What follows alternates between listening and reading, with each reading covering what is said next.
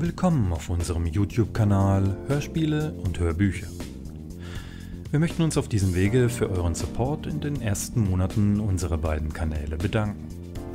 Für alle, die es noch nicht wissen, unseren Kanal gibt es in der Blue Edition mit fantasievollen Science-Fiction-Geschichten und in der Black Edition mit spannenden Thrillern und Krimis. Den jeweiligen Link findet ihr in der Kanalinfo. Bevor nun das nächste Stück startet, möchten wir euch um weitere Unterstützung bitten. Dies könnt ihr tun, indem ihr uns ein Abo dalasst und natürlich mit einem Like, wenn euch das Stück gefallen hat. Vielen Dank. Und nun wünschen wir euch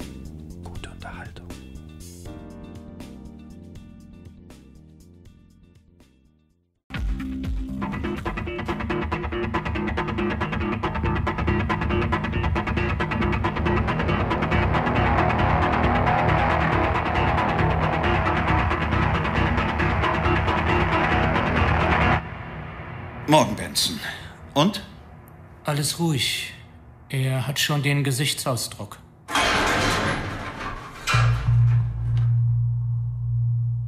Morgen, Frank. Mr. Blunkett?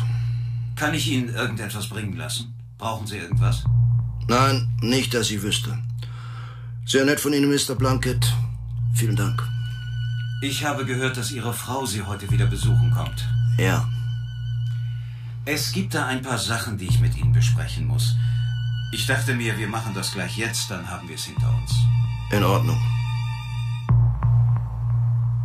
Ein wahres Verbrechen von Andrew Clavin aus dem amerikanischen von Christian Lutze. Musik Mario Schneider. Bearbeitung und Regie Uta Reitz. Ja. Ja, ja, ja, ich hab verstanden. Oh Mann. Oh Mann, Mann.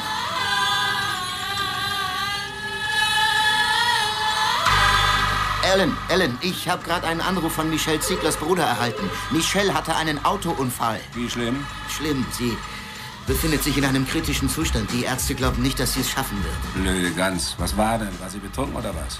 Ich weiß es nicht. Blöde Gans. Was hatte sie heute? Muss jemand für sie einspringen? Hatte sie heute irgendeinen wichtigen Termin?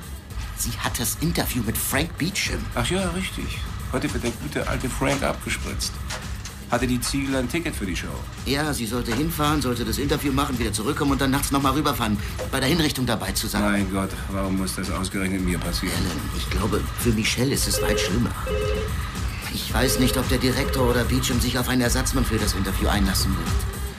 Setz Steve Everett drauf an. Auf beides. Das Interview und die Hinrichtung. Steve ist nicht da, der hat seinen freien Tag. Jetzt nicht mehr. Wir brauchen ihn. Äh, wie heißt noch der Direktor? Äh, Plunkett? Steve hatte schon früher mit ihm zu tun. Ich bringe ihn da rein und Beecham wird's egal sein, mit wem er redet. Ich bin sicher, dass ich auch Harvey an Plunkett vorbeischleusen kann. Weil du Steve Everett für ein Arschloch hältst. Ich glaube nicht, dass er ein Arschloch ist. Du irrst, der ist ein Arschloch. Glaub mir, ich kenne ihn. Eine Menge Leute, die gut in ihrem Job sind, sind Arschlöcher, Bob. Das weiß ich, Alan. Wenn ich diese Zeitung ohne Arschlöcher machen müsste, könnte ich sie als Rundbrief verschicken.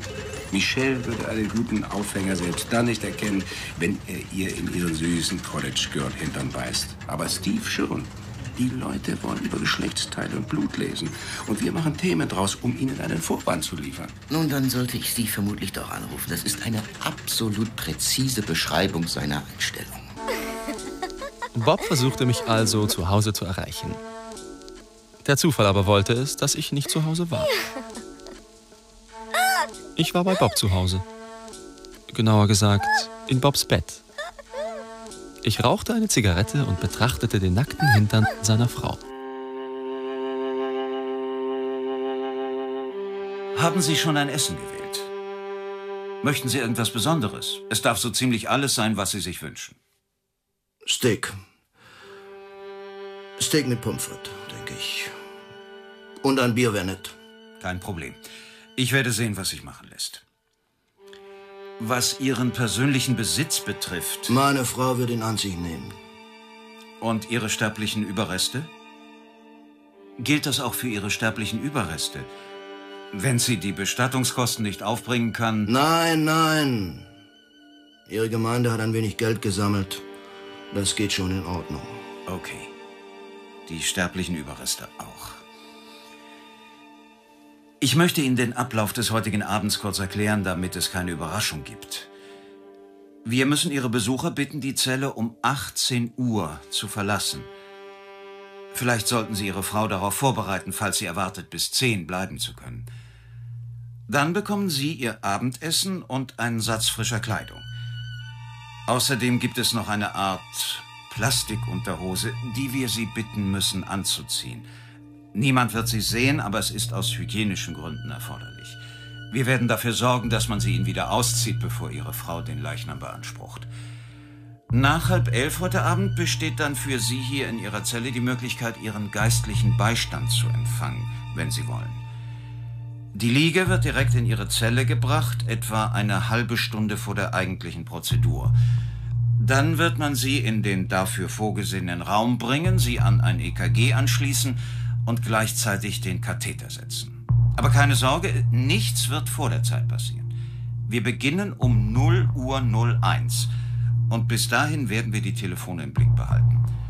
Außerdem haben wir eine offene Leitung zum Generalstaatsanwalt und zum Gouverneur. Beide Anschlüsse werden vorher auf ihre Funktionsfähigkeit überprüft werden. Haben Sie soweit noch irgendwelche Fragen? Nein. Gut. Es geht noch um das Beruhigungsmittel. Ich will kein Beruhigungsmittel. Es ist Ihnen natürlich freigestellt, aber verdammt nochmal, Frank, es ist ebenso sehr für mich wie für Sie. Ein reibungsloser Ablauf liegt schließlich im Interesse aller Beteiligten. Das Beruhigungsmittel, das man Ihnen geben wird, hilft. Ich möchte es nicht. Ich weiß das Angebot zu schätzen, Mr. Plunkett, aber ich möchte einen klaren Kopf behalten. Ich möchte meine Frau sehen können. Verstehen Sie?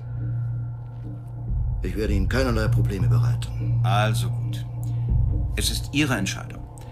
Sollten Sie Ihre Meinung ändern, lassen Sie es mich wissen.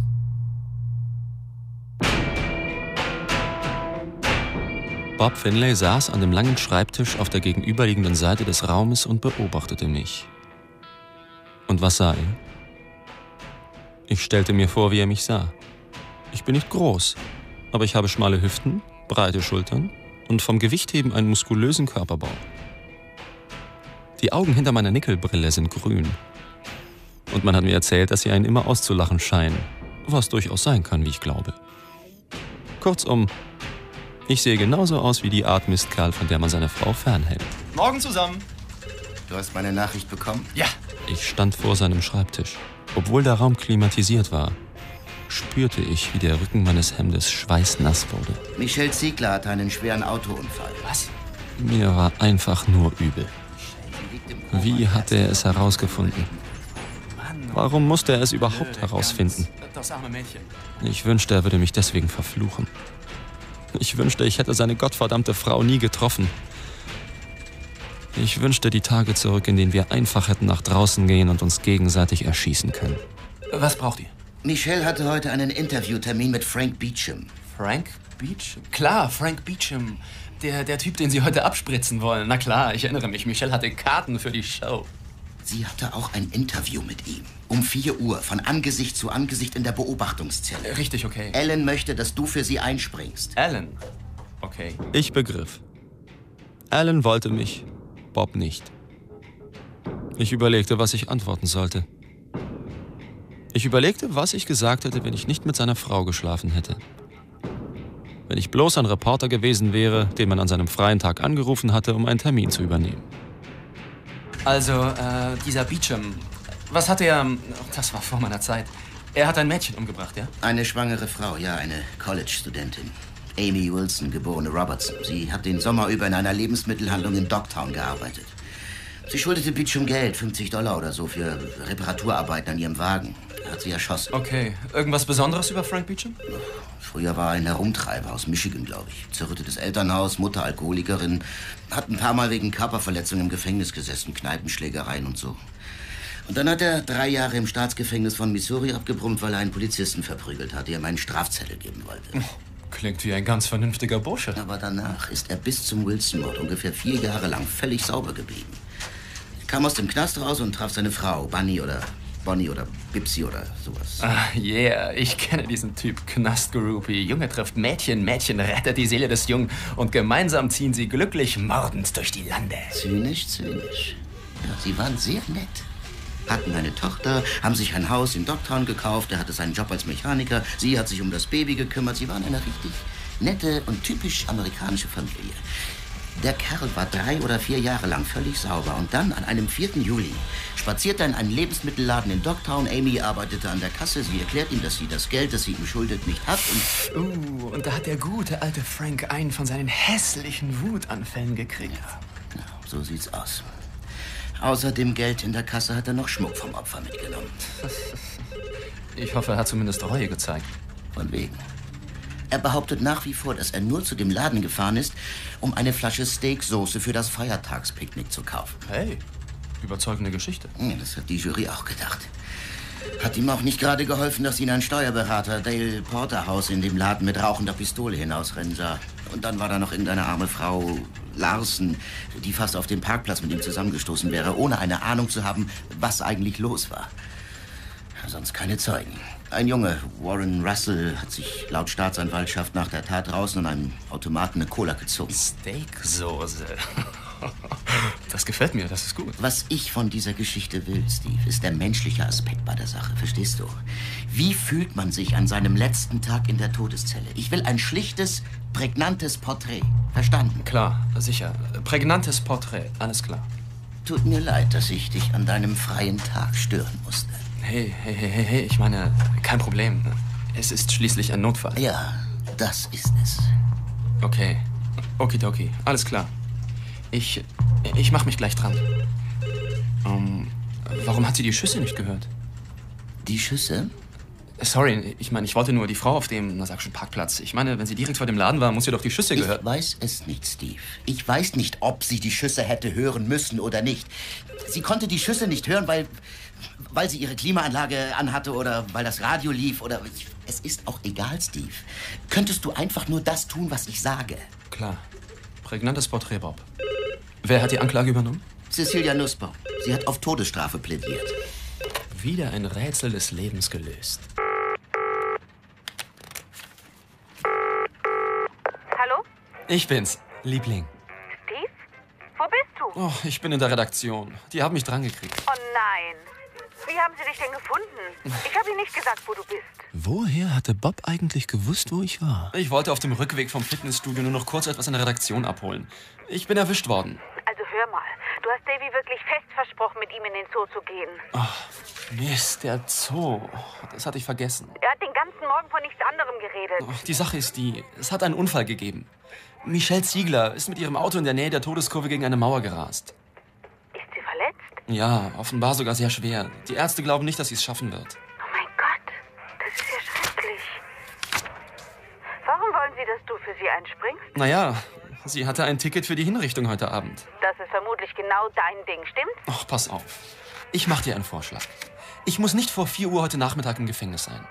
Und alle Hintergrundinformationen, die ich brauche, habe ich praktisch schon zusammen. Ich kann doch jetzt nach Hause kommen, Davy abholen, mit ihm in den Zoo gehen und ihn gegen drei wieder vorbeibringen, okay? Ich weiß wirklich nicht, warum du an deinem freien Tag in die Redaktion gehen musstest. Ja, tut mir leid. Idiotische Idee. Also gut. Ich sehe zu, dass er in einer halben Stunde fertig angezogen auf dich wartet. Super, ich bin da. Frank? Schillerman, der Kaplan will mit dir reden. So? Du weißt, seelischer Beistand wird nur gewährt, wenn du es ausdrücklich willst. Worüber will er reden? Er meint, falls du beichten willst. Bereuen vor Gott. Ich war es nicht. Schillerman, Pillerman, der kann mich mal. Okay, Frank, bin deiner Meinung. Sie wollen alle irgendwie dabei sein. Wann darf meine Frau kommen? Gedulde dich. In ein paar Stunden. Vorschrift. Pünktlich nach Hause kommen und mit Davy in den Zoo gehen. Schnurstracks in Richtung unserer Wohngegend fahren. Das war der vernünftige Plan.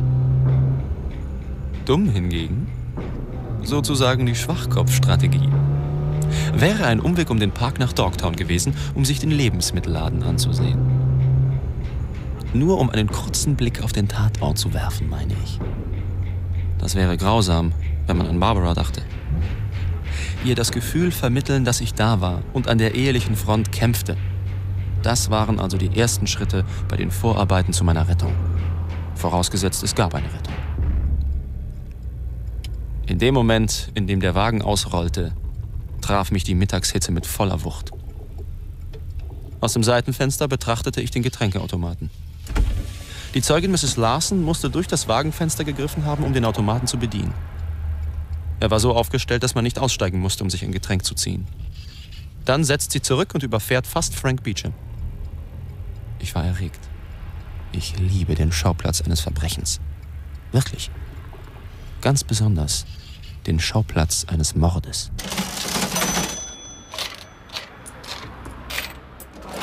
Kann ich helfen? Ich bin Reporter bei der News. Dies ist doch der Laden, in dem Amy Wilson ermordet wurde, oder nicht? Und ob. Sie stand hinter dieser Ladentheke. Heute, vor fast genau sechs Jahren. Es ist alles noch genauso wie früher. Also nur, dass ich jetzt hier stehe. Wow. Heute Nacht ist Zahltag. Das heißt, wenn die verdammten Rechtsanwälte nicht dazwischen funken. Ja, ja. Die Spritze ist noch viel zu gut für den. Waren Sie schon hier, als es passiert ist? Ja. Ich wohne keine drei Straßen von der Familie entfernt. Früher habe ich Amy immer auf der Straße getroffen. Sie war so ein liebes Mädchen. Und sie war auch noch schwanger. Können Sie sich das vorstellen? Was für ein Mensch tut War so... außer Amy noch jemand hier? Hinten ist noch eine Toilette. Als es passierte, war gerade ein Typ drin. Ein Steuerberater. Porterhaus oder so. Er kam rausgerannt und hat alles gesehen. Mhm. Tatsächlich. Das werde ich mir mal anschauen. Na also. Da ist sie. Gleich dort. Ganz ohne Frage eine Toilette. Und so stand ich mit einem subtilen Grinsen in meinem ironischen Gesicht im Hintereingang und wandte mich wieder dem Laden zu. Und dann gefror das Grinsen auf meinen Lippen. Denn ich sah Kartoffelchips. Eine ganze Reihe. Dicke gelbe Tüten, die fröhlich nebeneinander standen. Deshalb konnte man die Tür auch nicht sehen und auch nicht die Ladentheke. Vom Durchgang zur Toilette aus, wo der Zeuge Dale Porterhouse laut eigenen Angaben gestanden hatte, als Frank Beecham aus dem Laden gerannt war. Man konnte gar nichts sehen, außer Kartoffelchips.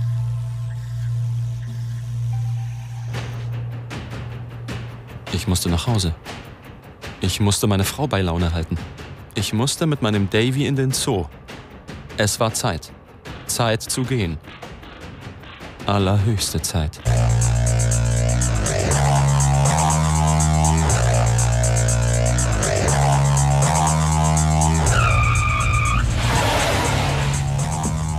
Als ich vor meinem Haus schlingernd zum Stehen kam, hatte ich den Kartoffelchip-Faktor schon wieder als lächerlich verworfen. Es war schließlich nicht so, als ob Frank Beecham unschuldig wäre. Weil die Bullen Verbrecher verhaften. Deswegen. Sie sind vielleicht nicht Hercule Poirot, aber sie haben jedes je begangene Verbrechen schon einmal gesehen. Und sie kennen ihre Pappenheimer und liegen in 99 Prozent aller Fälle richtig. Ungefähr so häufig wie Reporter, die Polizisten spielen, daneben liegen. Ich war 20 Minuten zu spät. Barbara stand da, ohne ein Wort zu sagen. Tut mir leid. Ich bin aufgehalten worden. Ich ziehe nur die Schuhe an. Ich schalte das Video aus.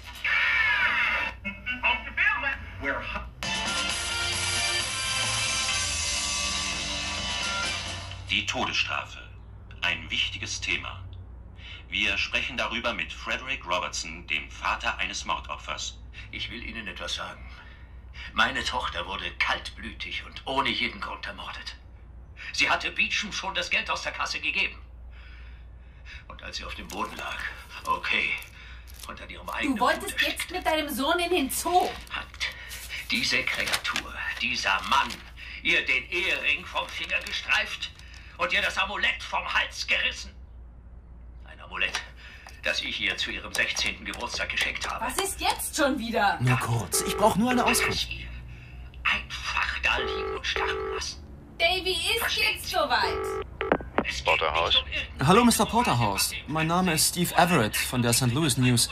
Ich berichte über die heutige Hinrichtung von Frank Beecham. Meines Wissens waren Sie einer der Hauptzeugen gegen ihn. Ja, ja, ja, so ist es. Ich habe mich gefragt, ob Sie vielleicht ein wenig Zeit erübrigen können, um mit mir über den Fall zu sprechen. Nun ja, leider habe ich in diesen Minuten einen Termin. Sag wir in einer halben Stunde. Okay. Du willst doch nicht etwa jetzt schon einen Termin? Sag Davy, dass sein Daddy ganz dringend weg musste. Ich gehe mit ihm in den Zoo. Ein anderes Mal, nicht jetzt. Ich muss los. Das wirst du nicht tun. Ich muss den Typ nur ein paar Sachen fragen. Über Kartoffelchips. Bye bye, Schatz. Verdammt, was ist bloß mit dir los?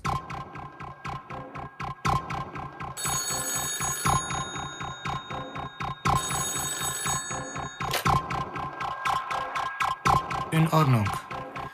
Dein Anwalt. Ja, Frank? Ich wollte nur nicht, dass Sie denken, wir hätten Sie vergessen. Also verstehen Sie, ich muss Ihnen das sagen, Frank. Ich will ganz ehrlich sein. Wir haben nicht viel zu erwarten. Verstehen Sie? Eine Chance besteht natürlich immer, nicht wahr? Aber beim Appellationsgericht haben Sie das alles schon mal gehört und es sieht nicht gut aus. Ich wollte nur, dass Sie sich dessen bewusst sind. ja. Ich weiß. Ich habe um 5 Uhr einen Termin beim Gouverneur. Okay. Frank, es sieht nicht gut aus, nicht einmal beim Gouverneur. Darauf müssen Sie vorbereitet sein. Sie müssen sich auf das Schlimmste gefasst machen. Ja, ich bin drauf vorbereitet. Soweit man das sein kann. Der Gouverneur sitzt in einer üblen Klemme. Bei all den Emotionen wegen des Mädchens, verstehen Sie? Und seinen Versprechungen, härter gegen das Verbrechen vorzugehen. Wir haben nicht viel Spielraum. Wenn ich dem Gouverneur berichten könnte, wie sehr Sie Ihre Tat bereuen, Ich habe es nicht getan. das weiß ich, das weiß ich. Niemand will, dass Sie etwas gestehen, was Sie nicht getan haben. Ich meine ja nur, dass die Haltung des Gouverneurs sein wird, er ist rechtskräftig verurteilt worden. Damit werde ich mich auseinandersetzen müssen. Ich habe es nicht getan. Ich kann keine Reue für etwas zeigen, das ich nicht getan habe. Nein, sicher, klar. Äh, Hören Sie, ich melde mich wieder, sobald die Entscheidung über das Gnadengesuch raus ist. Ich schätze, dass es, wie gesagt, noch etwa eine halbe Stunde dauert. Wenn Sie in der Zwischenzeit irgendwas brauchen, haben Sie ja die Nummer meines Handys. Und ähm, Okay, ich leg jetzt auf. ich rufe gleich nochmal an. Mr. Porterhouse, ich bin Ihnen dankbar, dass Sie sich zu diesem Gespräch bereit erklärt haben. Ich denke, ich wollte bloß eine Vorstellung davon bekommen, wie Sie sich heute fühlen. Verstehen Sie? An dem Tag, an dem Beecham endgültig hingerichtet werden soll, wodurch seine Verurteilung auf Ihrer Zeugenaussage beruht hat. Macht Ihnen das Probleme? Man trägt auch Verantwortung für seine Mitmenschen. Man kann nicht nur nach seinen eigenen Gefühlen gehen. Es ist wichtig, dass nach den Gesetzen dieses Landes Gerechtigkeit geschieht, verstehen Sie? Haben Sie je gedacht, dass Sie vielleicht einen Fehler gemacht haben könnten? Man könnte wohl sagen, dass ich ein Mensch bin, der wenig zu zweifeln neigt. Vergewissere dich, das Richtige zu tun und dann volle Kraft voraus. Das ist mein Motto. Für Sie besteht also kein Zweifel daran, dass Frank Beecham der Mann ist, den Sie an jenem Tag aus dem Laden laufen sahen. So ist es. Nicht der geringste Zweifel. Sie haben sein Gesicht gesehen. Und Sie haben die Waffe in seiner Hand gesehen. Ja, so ist es. Man könnte wohl sagen, dass ich mir dessen so sicher bin wie nur irgendwas auf dieser Welt. Vom Hintereingang des Ladens aus, wo die Toilette ist. Das ist richtig. Wie konnten Sie denn über die Kartoffelchips hinweg überhaupt irgendwas sehen? Ich möchte das, was danach geschah, so genau wie möglich beschreiben. Weil nämlich exakt gar nichts geschah. Rein überhaupt nichts. Porterhouse wich nicht erschreckt zurück oder schlug sich vor Entsetzen über seine Entlarvung die Hand an die kahle Stirn. Er verschüttete auch keinen Kaffee oder begann Lügen zu stottern oder verräterisch an seinem Kragen zu nesteln. Er zuckte nicht einmal mit der Wimper. Ich verstehe nicht. Welche Kartoffelchips? Ich hatte ganz klare Sicht. Und da wusste ich, dass er nicht die Wahrheit sagte. Er log auch nicht. Dessen war ich mir fast sicher. Doch er war ein kleiner Mann, der unbedingt wollte, dass die Leute ihn für einen großen Mann hielten. Er wollte ein großer Mann sein. Und vor sechs Jahren war er das für einen Augenblick gewesen. Ich glaube nicht, dass er einen Meineid geschworen hätte. Ich glaube nicht, dass er das Kreuzverhör überlebt hätte, wenn der Sachverhalt in seinem Kopf nicht völlig klar gewesen wäre. Ich denke, er hat es sich geglaubt. Bis zu dem Moment, indem ich ihn nach den Kartoffelchips fragte. Natürlich hätte ich die Behörden sofort davon unterrichtet, wenn es irgendwelche Zweifel gegeben hätte. Vielen Dank, Mr. Porterhouse. Sei nicht traurig, Bonnie. Kann ich denn nicht ein bisschen traurig sein? Na gut, aber nur ein ganz kleines bisschen, weil ich so ein toller Typ bin und du mich eine Weile vermissen wirst.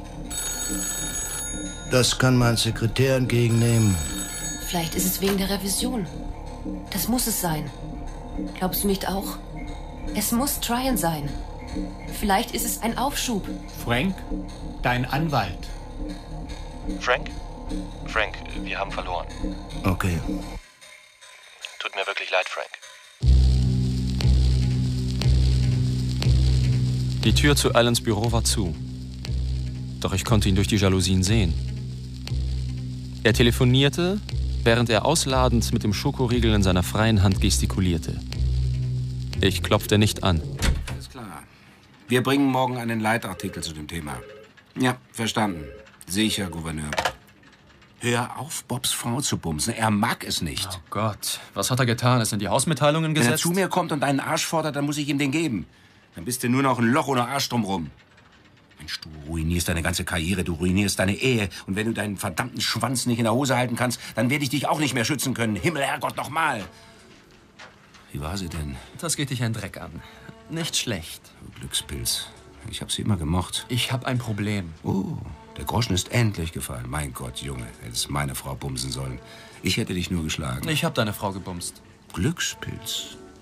Und wie war sie? Sie sendet dir liebe Grüße, aber das ist nicht mein Problem, Alan. Also gut, was ist dein gottverdammtes Problem? Erzähl's dem Papa. Du seelenloses Stück Scheiße. Frank Beecham. Der Typ, der so gut wie tot ist? Ja, ich soll ihn heute Nachmittag interviewen. Eine Chance, die ich dir verschafft habe. Ein Hoffnungsfunken. Vermassel es nicht. Ich glaube, er könnte unschuldig sein. Ist das dein Problem? Ja, es gibt Ungereimtheiten. Ungereimtheiten? Habe ich richtig gehört? Dass du gesagt hast, es gäbe Ungereimtheiten. Nach einer polizeilichen Ermittlung, einem Prozess, einer Verurteilung, einem sechsjährigen Revisionsverfahren. Und du hast Ungereimtheiten entdeckt.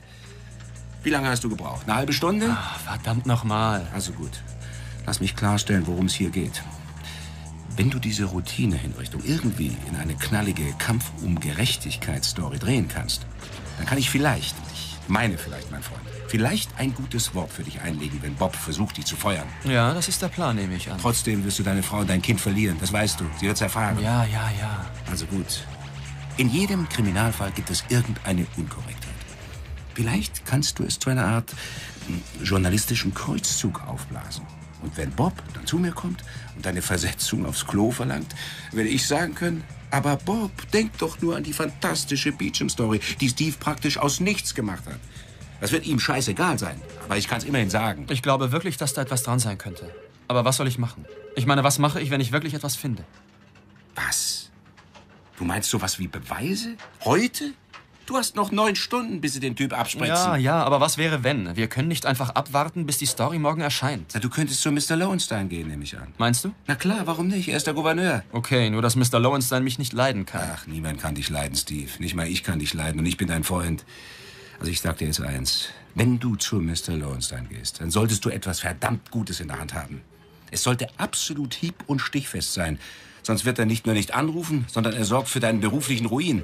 Dafür musst du noch nicht mal mit seiner Frau schlafen, mein Freund. Okay, danke. Weißt du, Steve, ich weiß nicht, was ich dir sagen soll. Den ganzen Tag und die ganze letzte Nacht habe ich darüber gegrübelt, wie ich es dir sagen soll. Sie hat es mir erzählt. Sie? Sie hat einen Aschenbecher mit deinen Zigaretten auf dem Nachttisch stehen lassen. Das war ihre Art, es mir zu sagen. Ich hatte den Aschenbecher immer selbst ausgeleert. Und zwar in die Toilette.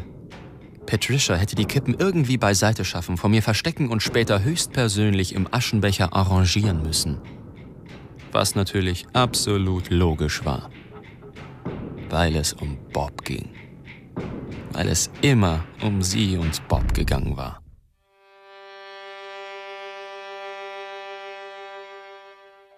Bonnie, Sie müssen schlicht und einfach begreifen. Bonnie, um Gottes Willen. Sie müssen es begreifen. Es geht nicht um irgendwelchen juristischen Kram. Es ist eine Ungerechtigkeit. Eine Ungerechtigkeit. Es gibt keine Revision. Sie haben das Gnadengesuch abgelehnt. Sie haben 15 Minuten, Mr. Everett. Anweisung von Mr. Plunkett. Exakt 15 Minuten. Mr. Everett, ich bin Frank Beecham. Nehmen Sie doch Platz. Ja, danke.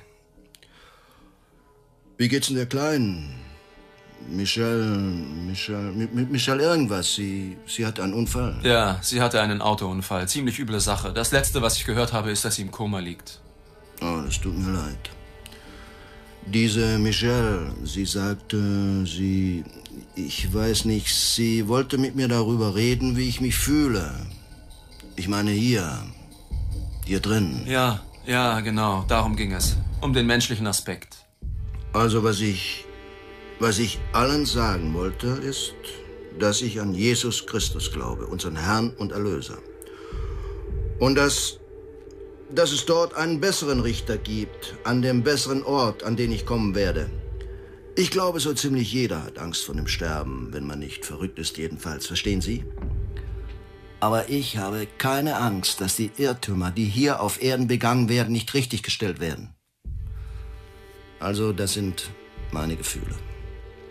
Ist, ist das in Ordnung so, Mr. Everett? Ist es das, was Sie wollten, oder? Mr. Beecham, Jesus Christus interessiert mich einen Scheiß. Und mir ist es auch egal, wie Sie sich fühlen. Alles, was mich interessiert, Mr. Beecham, sind die Dinge, die passieren. Die Tatsachen, die Ereignisse. Das ist mein Job, mein einziger Job. Die Dinge, die passieren, Mr. Beecham. Ich muss wissen, haben Sie diese Frau ermordet oder nicht? Was? Was ist passiert, verdammt nochmal? Was ist passiert? Was? In dem Laden. An dem Tag, als Amy Wilson erschossen wurde. Ich habe eine Flasche Steaksoße gekauft. Und Sie haben sie bei Amy an der Theke bezahlt. Ja. Und sie hat das Geld erwähnt, nicht wahr? Das Geld, das sie Ihnen schuldete. Hat sie es erwähnt? Sie sagte, sie würde, wissen Sie, versuchen, das zusammenzubekommen. Das Geld. Ich sagte ihr, ich sagte ihr, sie soll sich keine Sorgen machen. Ich wusste ja, wie schwer Sie es hätten. Deshalb habe ich ja den Wagen für Sie repariert. Irgendjemand hat sie erschossen, mein Freund. Das ist die Wahrheit. Das ist eine Tatsache. Das Mädchen ist tot und jemand hat sie erschossen. Wenn Sie es nicht waren, muss es jemand anders gewesen sein. Sie haben noch fünf Minuten. Ja, sicher. Wer könnte es getan haben? Ich, ich weiß nicht. Nicht Porterhouse. Er ist kein Mensch, der schießt. Ich habe mit ihm gesprochen. Er hat nichts getan. Aber ich sage Ihnen noch was. Er hat auch nichts gesehen. Und er ist der einzige Zeuge. Ich weiß nicht. Kommen Sie, Mann. Was ist mit der Frau? Der Frau in dem Wagen. Ich weiß nicht. Warum hat sie nicht gesehen, dass Sie keine Waffe hatten? Sie hatten die Steaksoße in der Hand, oder nicht? Herrgott im es war Himmel. die Flasche, nicht wahr? In Ihrer Hand, sagen Sie es mir. Ja, die Flasche, das habe ich denen auch gesagt. Sie war in meiner rechten Hand, so dass ich es nicht sehen konnte. Ich hatte ihr die andere Seite zugewandt, als wir fast zusammengestoßen wären. Die linke. Sie konnte es nicht sehen. Sie hatte keine klare Sicht. Also gut. Sie war es also nicht. Porterhouse war es nicht. Und Sie waren es auch nicht. Wer war sonst noch da? Das will ich wissen. Wer verdammt nochmal war sonst noch da? Niemand. Irgendjemand war da. Das ist eine Tatsache. Der Laden war leer außer mir, dem Steuerberater und Amy. Aber er war nicht leer. Sie hat sich doch nicht selbst erschossen, oder? Irgendjemand, irgendjemand muss da gewesen sein. Vielleicht jemand, der hereinkam, als Sie den Laden verlassen haben. Das würde erklären, warum sie den Schuss nicht gehört hat. Wenn es passiert ist, direkt nachdem Sie den Laden verlassen haben, haben Sie niemanden gesehen. Nein, ich. Ich weiß nicht. Ich habe nichts gesehen. Ich habe nur Steaksoße gekauft. Ich musste nach Hause wegen dem Picknick. Wir wollten grillen. Bonnie hatte keine Steaksoße mehr. Es war am Unabhängigkeitstag. In Ordnung, das war's. Nein, bitte. Sie glauben uns. Oder nicht? Glauben Sie uns. Gehen wir. Die Leute so aufzuregen. Schon gut. Glauben Sie uns. Nicht, Bonnie, nicht. Ja, ich glaube Ihnen um Himmels Willen. Man muss sich ihn doch nur ansehen. Hier reinzukommen und die Leute aufzuregen. Glauben Sie nicht, dass diese Menschen schon genug durchgemacht haben? Was glauben Sie, wo sie hier sind? Wo waren Sie? Jetzt ist es zu spät. Lieber Gott, wo waren Sie die ganze Zeit? Es war nicht meine Story. Es hat einen Unfall gegeben. In der Todeskurve. Es war an sich gar nicht meine Geschichte. Bob hatte doch noch jemanden erwähnt. Ein junger Kerl. Ein Jugendlicher. Ist bloß vorbeigekommen, um sich eine Cola zu ziehen oder so. Hat nichts gesehen. Ich brauchte nur seinen Namen und seine Adresse. Schlechte Zeit, um Bob zu fragen. Ich telefonierte mit dem Gerichtsarchiv. Ein junger Mann, der mir versicherte, nach den letzten Wochen die Akten zum Beecham-Fall auswendig zu kennen, wusste nichts von einem weiteren Zeugen. Doch bevor ich wieder einen klaren Kopf kriegen konnte, riefen Alan und Bob mich ins Büro. Scheiße. Okay, also. Direktor Plunkett ist sauer. Das ist Pech. Oh ja, Steve. Und ob er sauer ist. Außerdem ist das Rauchen in diesem Gebäude verboten. Kinder, Kinder, Kinder. Kommt schon, so geht das nicht. Das ist mein Ernst, Alan. Ich habe Steve sehr genaue Anweisungen gegeben. Ich wollte ein kurzes Porträt, das den menschlichen Aspekt herausstellt. Sonst nichts. Das ist alles. Die Zeitung hat Plunkett versprochen. Der Typ ist unschuldig. Ah. So ist es aber, Bob. Das ist kein kurzes Porträt. Es ist eine beschissene Kreuzigung, Mann. Hör zu, ich habe den ganzen persönlichen Mist, den du wolltest. Er glaubt an Gott, er ist glücklich wie ein Schwein, das sich in der Scheiße sucht, okay? Er kann es gar nicht erwarten, abgespritzt zu werden. Das kannst du alles in deinem Porträt mit dem menschlichen Aspekt benutzen. Das ist nicht der Punkt, Steve. Warum schlägst du mich nicht, hä? Schlag mich einfach K.O., verdammt nochmal. Ich hab es verdient, Mann. Es wird bestimmt ganz toll. Ich werde niemanden schlagen. Ellen, Ellen, wirklich, ich weiß, dass das für alle Probleme macht, aber ich möchte, dass das ganz klar ist. Ich bin bereit zu gehen. Ich habe dir viel zu verdanken, Ellen. Ich liebe diese Zeitung. Aber ich werde mein Arbeitsleben nicht in einem Klima verbringen, das für mich unerträglich geworden ist. Tut mir leid, Steve. Tut mir wirklich leid. Was ist mit meiner Kündigungsfrist? Alan? Kündigungsfrist? Es steht in meinem Vertrag. Du kannst mich nicht einfach so feuern. Ich habe eine Kündigungsfrist.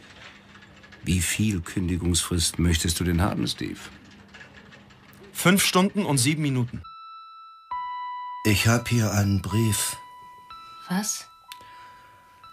Ich habe unserem Mädchen einen Brief geschrieben, weißt du? Etwas. Ich dachte, dass sie vielleicht irgendetwas in der Hand haben wollte. Er wird ihr kostbar sein. Er wird ihr kostbarster Besitz sein.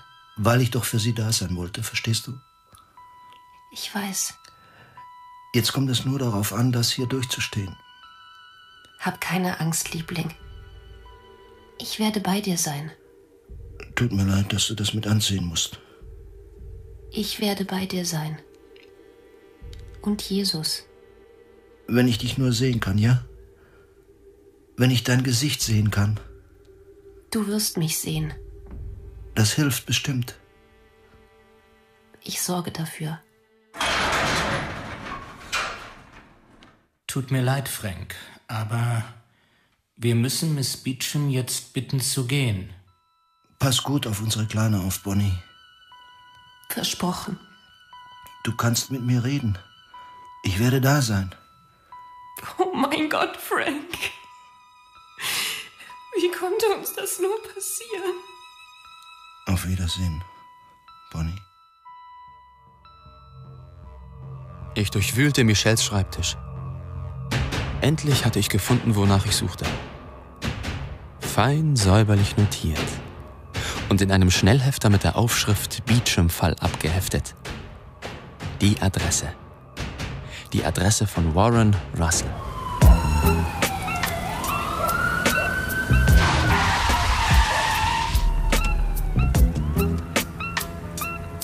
Mrs. Russell? Angela Russell. Darf ich reinkommen? Was wollen Sie? Ich bin Steve Everett von der News. Ich wollte mit Ihnen reden. Worüber? Ist das da auf dem Bild Ihr Sohn? Hm. Enkel. Drogen, wissen Sie? Sie haben ihn eines Nachts erschossen. Drüben im Park. Die Polizei war hier, um es mir zu sagen. Ich wusste, dass irgendwas war. Ich hatte gehofft, er wäre verhaftet worden. Aber sie haben ihn drüben im Park erwischt. War er. ähm, Ich meine, hat er Drogen genommen? Ja, ja, er hat Drogen genommen. Ich glaube, Ihr Enkel hat eine Frau getötet. Ich glaube, er hat vor sechs Jahren eine Frau getötet. Ein Mann sitzt in der Todeszelle. Er soll heute Abend hingerichtet werden für den Mord an einer Kassiererin in einem Lebensmittelladen. Einer Frau namens Amy Wilson, geborene Robertson. Ich glaube, Ihr Enkel hat es getan. Und wie kommen Sie auf so einen Gedanken? Weil er die einzige andere Person am Tatort war. Und ich glaube, der Mann, den Sie töten wollen, ist unschuldig. Und ich könnte fast wetten. Sagen Sie mir, wenn ich falsch liege, aber ich könnte wetten, dass dieser unschuldige Mann weiß ist. Ja, er ist weiß. Und außer diesem unschuldigen Weißen und meinem Born war an dem Tag niemand im Laden. Hm? Zwei Zeugen. Es gab noch zwei Zeugen. Aber die waren auch weiß.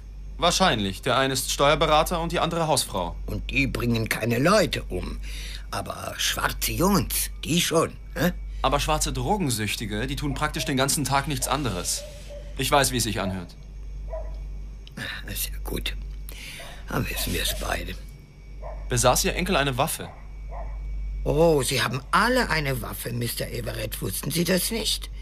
Alle diese halbwüchsigen schwarzen Drogensüchtigen haben Waffen. Darf ich Sie mal was fragen? Ja? Haben Sie irgendeinen Beweis? Haben Sie irgendeinen Beweis, dass Sie es wagen, hierher zu kommen und mir diese Sache über den armen toten Jungen einfach so ins Gesicht zu sagen? Kein Beweis, nicht wirklich. Nicht wirklich. Aha, dann gehen Sie jetzt besser zu Ihrer Zeitung zurück. Die Gegend hier kann nachts ziemlich gefährlich sein. Ich fuhr nach Hause. Ich war müde und meiner selbst überdrüssig. Doch ich war froh, dass der Wettlauf, Frank Beechams Leben zu retten, endgültig vorüber war. Barbara saß am Küchentisch. Sie sah mich an und zog langsam ihren Ehering über den Fingerknöchel und nahm ihn ab. Wir starrten beide auf den Ring. Also gut, lass mich raten. Bob hat dich angerufen? Welchen Unterschied macht es, wer mich angerufen hat? Sie hat mich angerufen, wenn du es wirklich wissen willst. Deine Patricia. Gut. Sicher. Klar. Sie hat versucht, dich zu erreichen. Sie hat geweint. Sie wollte dich wissen lassen, dass alles vorbei ist. Und dass es ihr leid tut, dass Bob dich von deinem Posten vertreiben will. Nett von ihr eine Nachricht zu hinterlassen. Hast du wirklich geglaubt, ich hätte es nicht gewusst? Diese verrückte Patricia. Ich habe ihr gesagt, sie soll sich keine Sorgen machen. Ich habe ihr erklärt, dass das so deine Art ist. Es ist genau das, was du immer machst. Hart für den Kleinen. Ist das nicht irgendwie hart für den Kleinen? Das fällt dir ja früh ein. Ich meine, sieh mal. Wir müssen ja keine Ehe führen wie andere Leute. Du könntest auch manchmal Typen haben. Ich würde sie umbringen, aber vorher könntest du sie haben. Ich meine, verdammt nochmal. Seit Jesus Tod sind 2000 Jahre vergangen. Wir können doch jetzt unsere eigenen Regeln aufstellen. Oh Gott, bist du dämlich. Und jetzt verschwinde hier, bitte. Es war etwa 20 nach neun, als ich meine Wohnung verließ. Ich für meinen Teil betrank mich. Hab den ganzen Tag noch nichts gegessen. Ich war zu beschäftigt. Deswegen. Zu beschäftigt damit, meine Liebe zu ruinieren. Ich meine mein Leben. Mein Leben und meine Liebe und meine Karriere. Alles an einem Tag. Du ja echt beschäftigt. Männer und Frauen, Mann. Total verschieden. Hey Steve, das ist tiefsinnig. Also, ich habe die Tochter von meinem Boss gebumst. Ach nein. Diesmal war es eine Frau. Oder Tochter? Oder. Ach. Na, jedenfalls ist das doch kein Grund. Es ist kein Grund für meine Frau, mich rauszuschmeißen und mir ihren beschissenen Ring zurückzugeben. Da steht ihr Name drin. Unser Name. Unsere Familie, oh Gott. Wie ein Amulett. Das Amulett? Sie trägt das scheiß Amulett. Amy Wilson. Amy Robertson. Angela Russell. Wer trägt was? Wovon redest du? Miss Russell, Warrens Großmutter, kann das sein? Oh Gott, ist das wahr? Ich muss los. Steve, ich mach dir einen Kaffee. Wie spät ist es? Ich habe im Fernsehen Amys Vater gesehen. Der hat ihr das scheiß Amulett zum 16. Geburtstag geschenkt. Mit ihren Initialen. Amy Robertson. Die gleichen Initialen. Angela Russell. Er wollte es für seine Großmutter. Und sie trägt es als Andenken. Wie spät ist es? Fünf vor elf. Mit dem Amulett könnte ich es schaffen. Das könnte ich Lowenstein zeigen. Wenn ich beweisen könnte, dass es Amys ist, das würde reichen. Schon gut. Du musst dich setzen. Nein, nein, ich muss fahren. Nein, Sie sind zu früh. Es ist erst elf. Ich habe noch eine Stunde zu leben. Ich bringe Ihnen frische Kleidung, Frank. Bitte ziehen Sie die an. Auch die Plastikunterhose, wie besprochen. Ach. Ich gehe nach draußen, damit Sie sich in Ruhe umziehen können.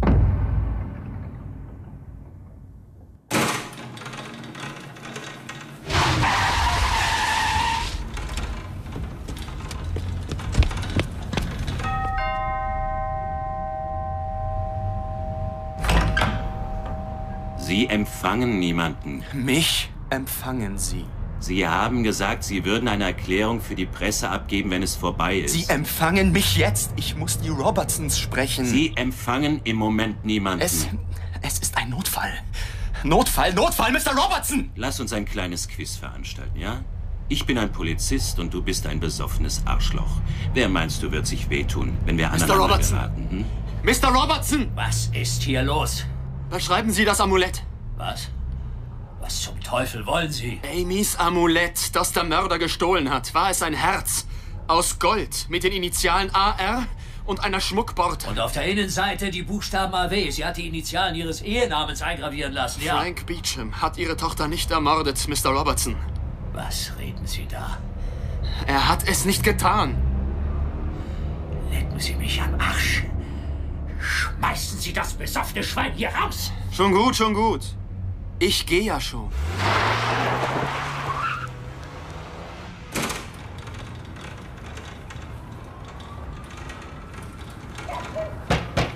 Komm schon. Komm schon. Mrs. Russell. Angela Russell. Verdammt noch mal. Los, machen Sie auf. Machen Sie auf. Verdammt, machen Sie doch auf. Ich werde es mit eigenen Augen sehen und schauen, wie dem Gottlosen vergolten wird. Denn der Herr ist meine Zuversicht, der Höchste ist meine Zuflucht. Wer unter dem Schirm des Höchsten sitzt und unter dem Schatten des Allmächtigen bleibt, der spricht zum Herrn. Meine Zuversicht. Sie musterte mich stirnrunzelnd durch die Dunkelheit.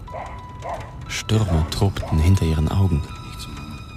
Ihre ganze stattliche Erscheinung schien vor Erregung zu zittern. Das Amulett. Ich hatte gehofft, dass Sie zurückkommen. AR. Amy Robertson. Angela Russell. Ja, ich schwöre bei Gott, ich habe gehofft, dass Sie wiederkommen. Dann kommen Sie. Wir haben nicht mehr viel Zeit. Um 12 Uhr werden Sie diesen Mann umbringen. Wie glauben Sie, sollen wir jetzt noch was dran ändern? Ich wollte nie in das Amulett sehen. A, W. Amy Wilson. Ja, ich wollte es halt nicht wahrhaben. Kommen Sie mit zum Auto, schnallen Sie sich an. Wir haben keine Zeit, wir müssen zum Gouverneur.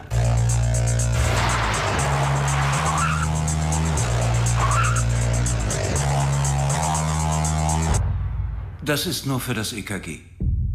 Es wird leichter gehen, wenn Sie eine Faust machen. Ich kenne den Jungen, der meinem Enkel die Waffe verkauft hat. Der sitzt im Gefängnis. Vielleicht sagt er aus, wenn man ihm einen Teil seiner Strafe erlässt. Oh nein. Stopp, um Gottes Willen, halten Sie an. Die können uns doch helfen. Die werden uns aufhalten. Ich habe mit einem rechtmäßig ausgewiesenen Vertreter des Gouverneurs gesprochen. Es wurde kein Aufschub gewährt. Die Exekution kann wie geplant anlaufen. Wir haben ein Okay. Frank Beecham, Sie sind vom Staate Missouri des Mordes für schuldig befunden und zum Tode durch eine letale Injektion verurteilt worden. Haben Sie noch etwas zu sagen? Ich liebe dich, Bonnie. Ich habe dich immer geliebt. Mr. Lowenstein! Mr. Lowenstein, Sie müssen öffnen! Mr. Beecham ist unschuldig. Mein Enkel war es. Somit wird das Urteil jetzt um 0 Uhr 01 vollstreckt.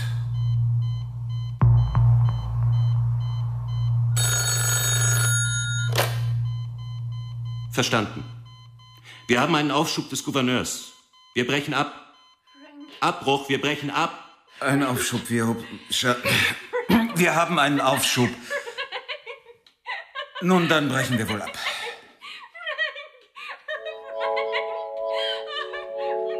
Frank Beecham hat etwa einen Monat, nachdem ich ihn das letzte Mal gesehen hatte, die Stadt verlassen. Egal, wie oft ich ihn fragte, er konnte nie wirklich beschreiben, was er vor allem ganz am Ende auf der Liege gedacht oder gefühlt hat. Er habe nur gesehen, was passierte. Sonst nichts. Das sei aber echt unheimlich gewesen. Ich glaube, sie sind gegangen, nachdem Bonnie aus der psychiatrischen Klinik entlassen wurde. Er hat nach der Geschichte eine Menge Jobangebote bekommen. Was kostet der große Teddy da? 50 Dollar. Na, da wird aber jemand große Augen machen. Geburtstag? Ja. Wird er am Bett stehen? Nein, wir leben getrennt. Meine Ex-Frau erlaubt nicht, dass ich vor dem Mittagessen komme. Sie hat mich rausgeschmissen. Ich hätte auch meinen Job verlieren können, weil es die Frau meines Chefs war. Der Scheidungsgrund. Zum Glück habe ich kurz danach noch einen Riesenknaller gelandet, sodass mich die von der Zeitung nicht rausschmeißen konnten. Also, was meinen Sie? Wollen Sie mit mir schlafen?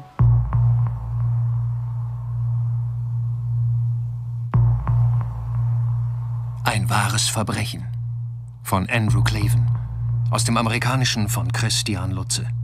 Bearbeitung Uta Reitz. Steve Jaron Löwenberg. Frank Beecham Paul Fasnacht. Bob Werner Wölbern. Ellen Matthias Ponnier.